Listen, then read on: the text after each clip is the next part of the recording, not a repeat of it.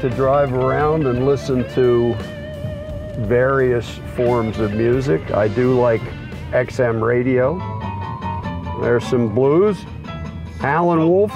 Feel like this, some folk feel like that, but the way I'm built, I don't you call me B.B. King,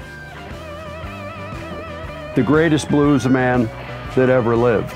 And that's who Mr. King was. And it reminds me of um, being 16 or 17 years old and seeing Mr. King in a record store in New Jersey and walking in and asking for an autograph and saying, Excuse me, Mr. King, I'm trying to learn how to play the guitar and I love the blues. And he said, Well, hey, man, come here, sit down. And he talked to me for over an hour. He told me all about being on the road. He told me what to expect. He told me things like, he said, if, if you want to go into music with the thought of getting rich, don't play the blues. You play the blues because you have to. The blues chooses you, you don't choose it. It grabs you and it doesn't let go. Whenever I was not on tour, this is where I was. It was uh, a lot of people came in there and played with me. Garth Hudson from the band, Mick Taylor from the Stones, T.M. Stevens, Teena Marie from Motown Records, um, John Mayall came in there and played. Um, all sorts of people would come down here and jam. For a while, I had Richie Hayward from Little Feat on the drums playing here with me. I did over 3,000 sets of music in this little place. Started there in 1975 and played there for over 20 years. The blues is really my roots. It's really my, my pedigree with all the people I played with. And um, just to do a Stone Blues album, finally, but to um, look for songs that that are sort of not the blues greatest hits, you know, um, songs that have not really been covered much, but I think songs that are are worthy of attention and worthy of being heard again. So it, it's been a while. It's it's kind of been in the back of my mind, and it just seemed like after my last album, which was "We're All in This Together," which was a lot of jamming on on blues stuff with all these great musicians. It, it just seemed like the right time now. I think there's a lot of really awesome blues songs that have not really been heard that deserve to be heard. For instance, the, um, the first track on the album is called Me, My Guitar, and the Blues. It was written and performed by an old um, Chicago blues man from the 60s and 70s. His name was Jimmy Dawkins. And to me, it's an amazingly iconic, uh, incredible blues tune. And why it hasn't been heard or covered by more people, I don't know. But when I heard it, it floored me. And um, there's plenty of songs like that that have kind of just fallen by the wayside. There's 55 versions of Got My Mojo working out there, and we don't need another one, you know? Oh boy, some good stuff here. Look at this. This is John Mayall.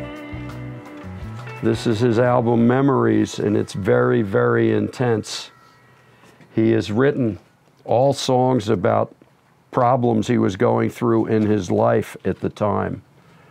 And um, as you can see, there's a picture of him as a kid with his father, picture of him as a young man, a picture of him in the army. He was in the Korean War. Yeah, this is the album where he talks about it, right? I remember you, you Yeah. telling me about him writing a song about it. Yeah, and um, this album is really heavy. Lyrically, it's he didn't hold back. He really, um, it's almost gut wrenching to listen to. Yeah. It's one of your mom's favorite albums of his.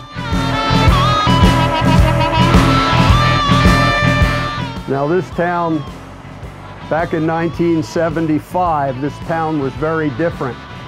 None of this was here It was all little two-story brick buildings, kind of like Perks.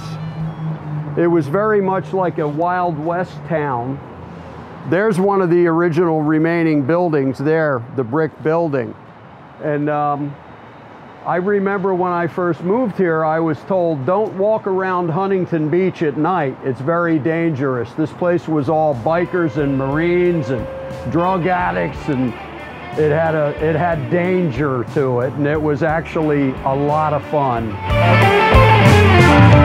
my wife marie um, she was talking about how you know i'm a liver transplant recipient and two of the guys in the band are heavily in recovery from drug addiction and alcoholism and one the other guy on the record has had a triple bypass and she said, God, you guys are all survivors. She said, You need to call this thing Survivor Blues. And I thought it was a great idea. So we have to give credit to that to my wife, my manager, the amazing Dr. Marie Trout.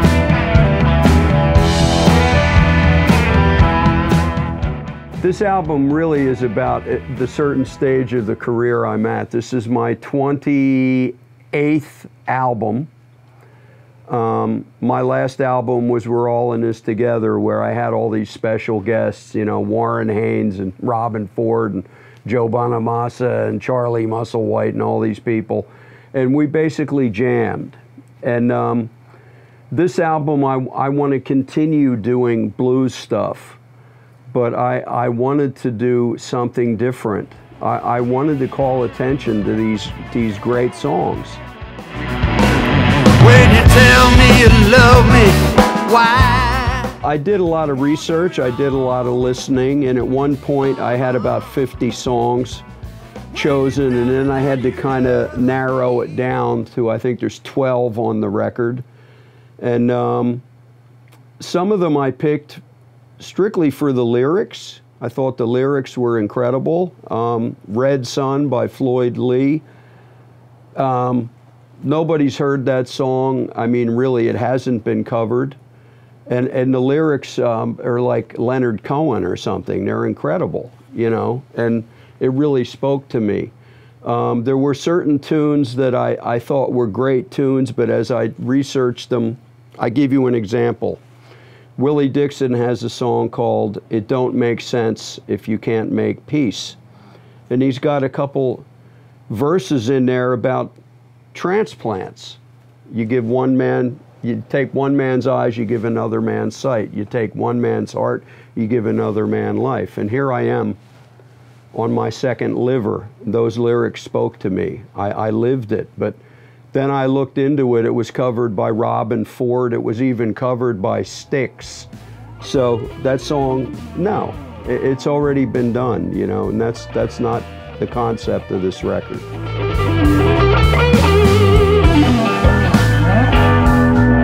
The songs will survive, I hope, and my hope is that people who buy this record and hear these songs will go back and do the research and listen to the originals by the original people. You know, I I did a song by Mississippi Fred McDowell. I, I did it with Robbie Krieger from The Doors.